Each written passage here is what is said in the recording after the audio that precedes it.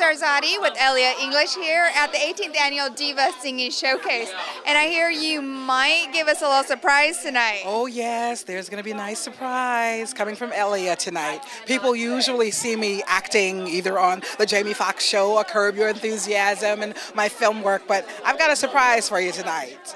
Do you want to give us a little preview of that surprise? everybody wants, but I'm going to keep it a secret. It was good to try, right? I was trying. I was this close.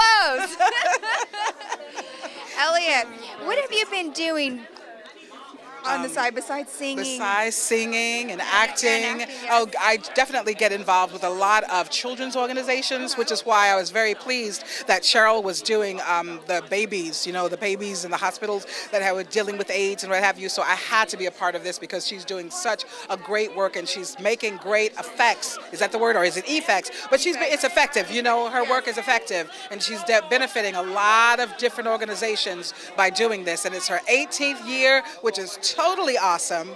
And so I'm excited. So that's what I'm, you know, trying to be a part of. I have a book coming out too, but that's something I'll talk about a little later. Ah, well, she she gave us a preview and a little hint on that one. on that So we're gonna have to look out for that one. Right. Thank you, Ellia. Good luck.